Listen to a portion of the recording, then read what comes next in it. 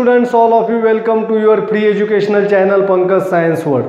Students, we are studying the chapter element, compound and mixture of class 7. In that chapter, today we have to study the method of separation using separating funnel. तो हम mixture से components कैसे अलग करना है इनकी एक एक मेथड के बारे में हम पढ़ रहे हैं पिछले वीडियो में आपने डिस्टिलेशन के मेथड में पढ़ा। डिस्टिलेशन के मेथड से हम सॉलिड और लिक्विड लिक्विड से सॉलिड जो है वो सेपरेट कर सकते हैं या दो लिक्विड एक दूसरे में मिक्स है, जिनका बॉइलिंग पॉइंट्स जो है इसमें डिफरेंस है, उनको हम अलग कर सकते हैं। Now in this method we use the separating funnel in this इस मेथड में हम सेपरेटिंग फनेल का इस्तेमाल करके दो लिक्विड्स जो है, जो इमिसिबल है, इनको कैसे सेपरेट करना है, इसके बारे में पढ़ेंगे। Therefore watch this video completely don't forget to subscribe like and share the video तो शुरू करते हैं आज का topic method of separation using separating funnel students when a mixture of two immiscible liquids is left undisturbed then two layers are clearly seen to have form अगर दो liquid जो है, जो इमिसिबल है, एक दूसरे में मिक्स नहीं होते, जैसे कि पेट्रोल और वाटर केरोसिन एंड वाटर तो ये केरोसिन और वाटर एक दूसरे में मिक्स नहीं होते. ऑयल और वाटर एक दूसरे में मिक्स नहीं होते. पेट्रोल और ऑयल वाटर एक दूसरे में मिक्स नहीं होते. ऐसे इस तरह का जो अगर मिक्सर है तो उस मिक्सचर में से हमें दोनों कंपोनेंट्स दोनों लिक्विड्स को कैसे अलग करना है? अगर दीप two immiscible liquids are left undisturbed it is left undisturbed then two layers are form तो दो लेयर्स यहाँ पे तैयार होते हैं.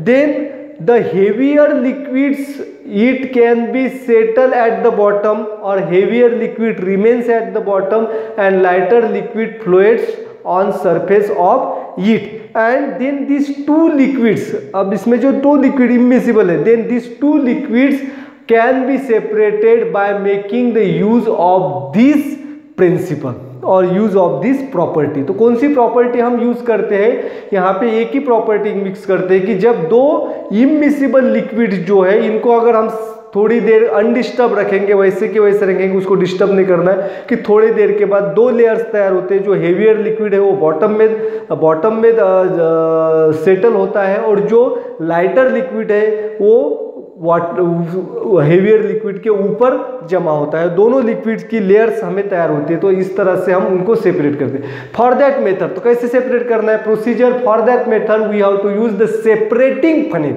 कौन सी फनेल चाहिए बच्चों? नाम याद रखना है सेपरेटिंग फनेल अब यहाँ पे आप डायग्राम में भी देख रहे हैं सेपरेटिंग फनेल जो है, इसकी फिगर यहाँ पे हमने दी है। सेपरेटिंग फनेल जो है it is like cone cone की तरह होता है और इसके एंड में ऊपर जो है वाइडर ओपनिंग होता है उसे वाइडर माउथ होता है और नीचे जो है वो स्टॉप कॉक होता है विथ स्टॉपर स्टॉप कॉक और उसको स्टॉपर होता है। स्टॉपर को अगर खोलेंगे तो स्टॉप कॉक ओपन हो जाएगा और उसमें से लिक्विड नीचे आता है। अगर स्टॉपर को हम क्लोज करेंगे तो स्टॉप कॉक बंद हो जाएगा और लिक्विड बाहर नहीं आ सकता है। अब यहाँ पे हमें क्या करना है? When mix the two liquids like kerosene and water तो हमें क्या करना है?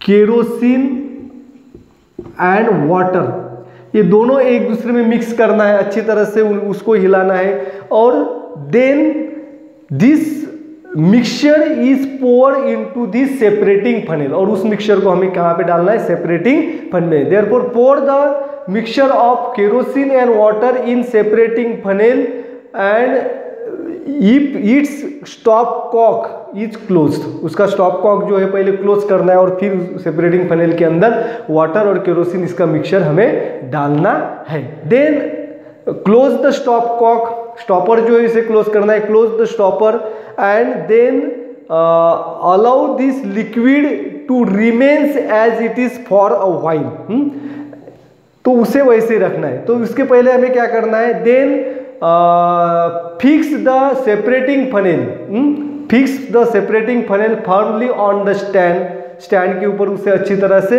क्या करना है हमें? फिक्स करना है। So that the heavier liquids that is the water is settle at the bottom and the kerosene is floated on the water if we keep this mixture और separating funnel undisturbed for a while तो ये separating funnel को वैसे रखना है, उसे disturb नहीं करना है तो थोड़ी देर के बाद आप क्या देखेंगे, पानी जो है वाटर जो है, वो बॉटम में जमा हुआ है और केरोसिन जो है, वो उसके ऊपर तैरता हुआ हमें देखते हैं। Two layers we can see clearly now what we have to do now without shaking the separating funnel separating funnel को धक्का नहीं लगाना है. Without shaking the separating funnel slowly and thoroughly open the stop stopper by opening the stop cock now collect the water which is collected at the bottom in the beaker hmm?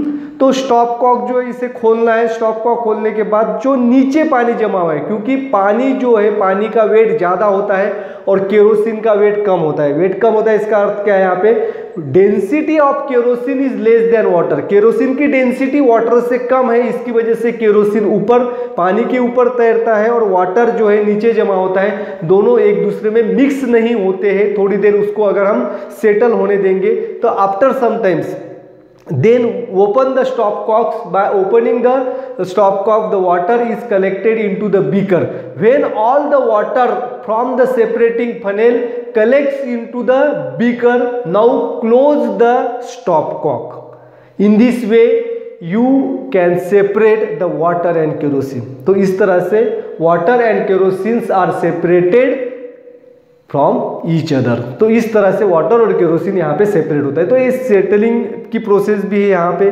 Settling by using the separating funnel the process of settling and by using the separating funnel you can separate the two immiscible liquids from each तो इस method का हम कहाँ पे इस्तेमाल कर सकते हैं? अगर दो मिश्रण दो लिक्विड जो है एक दूसरे में मिक्स नहीं होते एक की डेंसिटी ज़्यादा है और एक की डेंसिटी कम है तो उसीलिए हम इस मेथड का इस्तेमाल कर सकते हैं। जैसे कि आप पेट्रोल और वाटर कभी कभी हमारे गाड़ी के अंदर पेट्रोल की टंकी में क्या हो जाता है? पानी जमा होता है। तो उसको अगर हम बाहर निकालेंगे तो पेट्रोल और वाटर जो है एक दूसरे से सेपरेटिंग फनेल का यूज़ करके हम आ, अलग कर सकते हैं। Thanks for watching complete video don't don't forget to subscribe my channel. Thank you.